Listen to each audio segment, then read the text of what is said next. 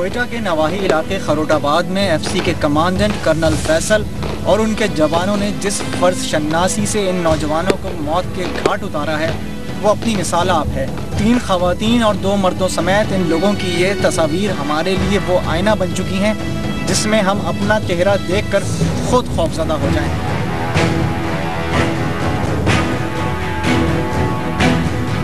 हकीकी दहशत गर्दों से सामना हो जाए तो मुकाबला करने में 16 घंटे सर्फ हो जाते हैं। लेकिन अगर नहत्ते और बेबस अफराद को नाम नेहाद खुदकुश हमलावर करार देकर सीने पर मेडल सजाने हों तो ये खेल अपने आगाज़ से अंजाम तक पहुँचने में सिर्फ़ कुछ मिनट ही लेता है।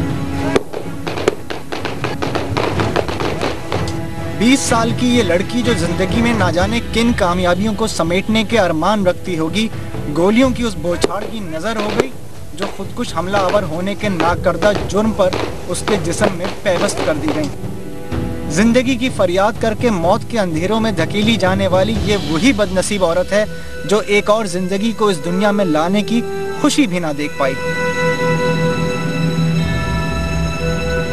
हाथों में मौजूद इन रस्सियों की गांठें बता रही हैं कि पुलिस के फर्शन्नास एहलकारों ने इस लड़की को पहले हिरासत में लिया और फिर अपने मुतालबात पूरे ना होने पर ज़िंदगी की शमा ही गुल कर दी।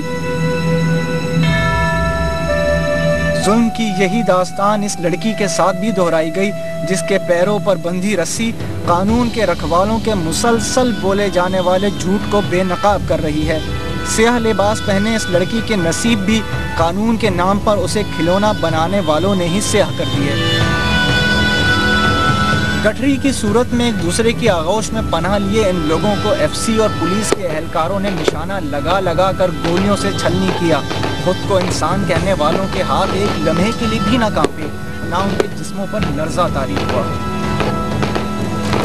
कौन सा कानून था जो उन्होंने पामाल किया? उस सात माह के बच्चे ने क्या जुल्म किया था जिसे दुनिया में आने से पहले ही माँ के साथ मौत के सफ़र पर भेज दिया गया? क्या एफसी के इन अहलकारों को इस कत्लेआम पर इंसाफ के कटहरे में लाया जाएगा या दिल दहला देने वाले ये वाकयात आइंदा भी हमारी किस्मत में लिखे जाते रहेंगे?